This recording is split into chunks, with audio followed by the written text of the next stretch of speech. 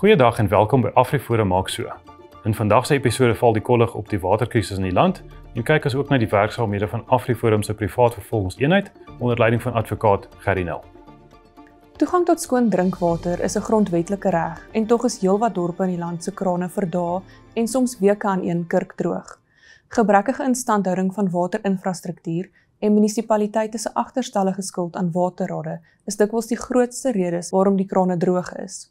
In Mpumalanga skuld die Govenbetjie plaaslike munisipaliteit waaronder Betalval miljarde rande aan randwater wat water aan die munisipaliteit en sy inwoners verskaf. Dit het tot gevolg gehad dat randwater die waterdruk na dorpe verlaag het in 'n poging om skuld in te vorder. Inwoners van Betal word die swaarste getref weens die munisipaliteit se onvermoë om basiese dienste te lewer. Die watertekorte in Betal is enige iets van 2 weke tot en met 6 tot 8 weke partykeer in sekere dele van die dorp selfs langer en dit is 'n baie gereelde verskynsel. Ehm um, daar is nie in enige maand 'n week wat daar nie een of ander probleem is wat sekere dele van die dorp droogloop nie. Maar hierdie spesifieke probleem met die drukverlaging is lang tye en dit is gewoonlik aan die einde van die maand. Ehm um, hier rondom die 20ste dan begin mense kla hulle water raak raak minder, die druk word laer en sekere dele het dan geen water nie. Ehm um, as dit dan begin en hulle pas dit toe dan droog dit geleidelik op in die dorp en dit gaan aan soos ek sê tot en met 8 weke. Die Governor Bay munisipaliteit is amper ek sal sê meer as 90% disfunksioneel op die stadium. Ehm um, hulle is nie meer in staat om hulle rioolnetwerke te onderhou nie. Hulle kan nie die waterverskaffing onderhou nie. Hulle doen nie meer die slaggate nie. Hulle hulle het absoluut geen meer ordentlike diensleweringsfaktor wat hulle kan lewer nie. Ehm um, as jy kyk na Betal, die krag word alreeds deur 'n eksterne verskaffer gedoen wat deur die distriksmunisipaliteit aangewys is en dit is al klaar 'n ramp op die stadium. Ehm um, Afriforum alleen het in Betal 'n reuse slaggatprojek elke jaar waar ons meer as 2000 sakke teer gooi. Ehm um, ons help met die water in gevalle soos die Ons moet maar kyk na die algehele netheid in die dorp met skoonmaakprojekte en slaggate en grasny want daar's net geen meer diensleweringfunksionaliteit oor nie. As die munisipaliteit bel, vat dit ook weke vir hulle om enigiets te kom doen. En gewoonlik waar hulle iets herstel, los hulle die die grond en die goed net so. Hulle gooi maar net die gat toe. Hulle herstel nie die pad nie of hulle herstel nie die randstene wat hulle oplig nie. Dit is net 'n absolute ramp in die munisipaliteit. Dit is veral inwoners in die hoogliggende dele van die dorp wat die ergste geraak word tydens die watertekorte. Hulle moet noodgedwonge ander planne maak en water in kanne na hul huise toe aanry. Wel, ek begin half 5 in die môre kom hier tussen 8 en 9 by my huis aan. Dan moet ek my vrou vra, "Hoekom ry ons so in? Hoekom is die hond vuil? Hoekom is daar nie kos gemaak nie? Hoekom kan ek nie bad nie? Daar's nie water nie." Dan moet 'n ou vir ander mense kom vra asseblief verskaf water. Ek meen dit is totaal onregverdig. Waarvoor betaal ons hierdie duur kostes? Afriforum het weens al die watertekorte noodwaterpunte reg oor die land opgerig om inwoners se las te verlig.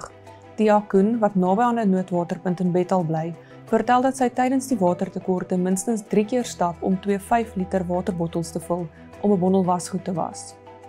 Jy weet die ding is as hulle 'n mens laat weet en vir 'n mens sê, kyk, die die water gaan môre af. Dan is dit oukei, dan kan jy voorsiening maak.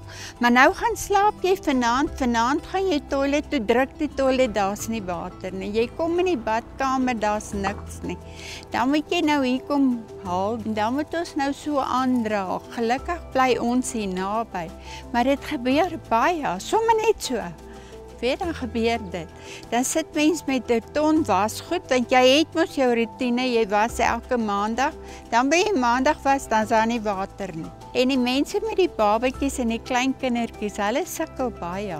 En my dogter bly aan die ander kant die spoor. Nou moet jy dink van daar af water hier. Nee, dis 'n gemors. Goed, so Afriforum het in Bethal twee noodwaterpunte. Elke noodwaterpunt het 'n 25000 liter kapasiteit, so dit is 5000 liter tanks en hulle word maar op op 'n daaglikse basis volgehou as die probleem dan nou uitbreek hier. Gedurende die vorige wateronderbrekings in Januarie het Afriforum saam met die boere gesels.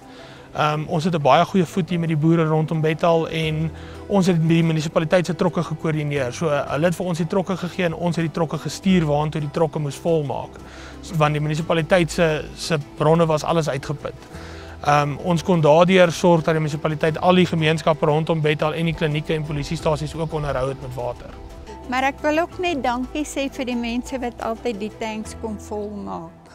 Dis 'n ons watch hulle. Baie dankie.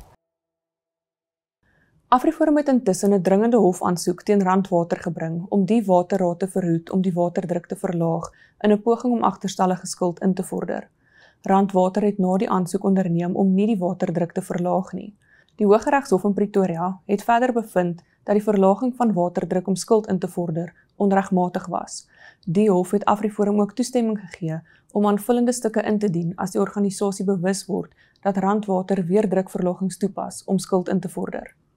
Afriforum het verder in 'n verklaring gesê die organisasie bly toegewyd aan sy missie om die regte en belange van gemeenskappe te beskerm en dat hulle sal voortgaan om soortgelyke kwessies te moniteer en te beveg.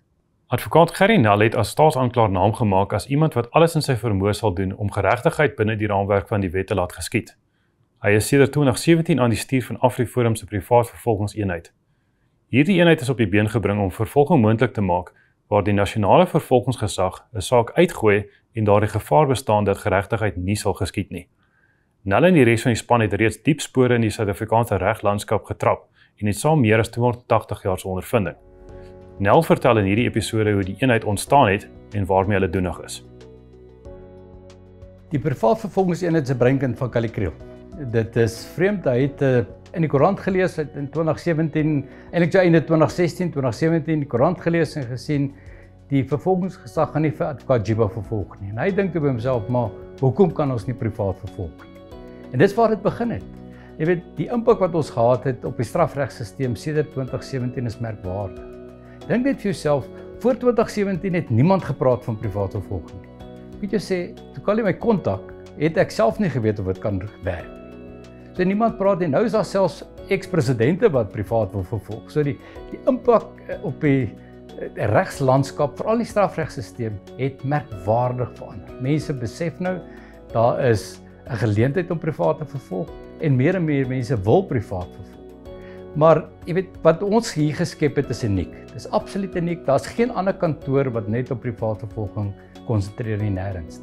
Dit is ontstellend om te dink dat vandag kan gewone mense nie by 'n polisiestasie aanstap, 'n saak aanhandig maak en hoop dat die saak deur die hof sal gaan. Dis ontstellend moontlik dat klaers en slagoffers van misdaad nie meer by die hof kan uitkom en te dink hulle saak gaan aangehoor word, dan gaan met hulle gekonsulteer word en dan gaan sukses wees.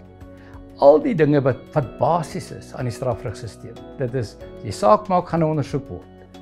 As daar iemand skuldig is, gaan hy gearresteer word. As jy hof toe gaan, gaan hom met jou gekonsulteer word. Jy gaan weet wat in die hof aangaan en dit sal vir jou moontlik wees. Dit bestaan glad nie meer. Ons kry gemiddeld op die privaat vervolgingsgesag e-pos 100 meer as 100 e-posse per maand van mense wat wil hê ons moet hulle help. Ons kan nie almal help nie, maar wat ons wel doen is, ons antwoord elke e-pos en ons sal elke iemand in 'n rigting stuur. Baie van die sake is is siviele sake waar mense dink ons uh, ons kan hulle help met siviele sake, maar Tipies man kan ek net een ding op beslag doen en dit is vervolg. Ek kan net vervolg en en ons ons vervolg nie. Dis wat ons doen. Ons verdedig niemand nie. Want jy kan nie nou verdedig en later vervolg nie. Jy's 'n aanklaer. Dit is wat jy doen. Dis die konsep wat jy uitbrei. So ons doen nie dit nie. Ons vervolg net, ons verdedig nie. Met my hier was 'n saak, stap 'n familie hier by ons in. Was 'n traumatiese eerste ontmoeting. 5 jaar nadat hy oorlede is, daar niks gebeur nie. Hulle stap by ons in en hulle sê help ons dit. Hier skep julle mandaat, doen wat julle moet doen. Uh en en dis wat ons doen. As ons mense kry en ons besluit om 'n saak te vat, dan moet ons deurvoer op. Nou ons voer deur op die Mewa familie. Ons sorg dat hulle by die hof uitkom. Ons dra die koste om vir hulle om by die hof uit te kom want hulle kan dit hulle self nie doen. En ons ons sorg dat hulle presies verstaan wat in die saak aangaan stap vir stap. Maar dis nou nie 'n saak wat ek sou gebruik as 'n voorbeeld van regspleging in hierdie land. Want dit het van die begin af verkeerd geloop. Ons almal onthou nog wat wat Tefo ons ons het nou gesien wat wat gebeur het in die verhoor binne 'n verhoor. So ek dink nie dit is 'n 'n voorbeeld van 'n strafsaak wat ons wil najag nie, maar is miskien 'n voorbeeld van ons toewyding om te sorg dat daar geregtigheid geskied en ons toewyding om voltyds as ons ons self tot iemand verbind het dit die end uit deur te voer. Ek is eintlik bevoorreg om nadat ek 'n loopbaan gehad het as vervolger heeltemal iets nuuts kan kan begin. En omdat dit so nuut is en omdat dit so uitdaging is, is dit nog is dit elke dag vir lekker op kantoor te kom. En ek het myself omring deur mense wat my visie oor die kantoor deel.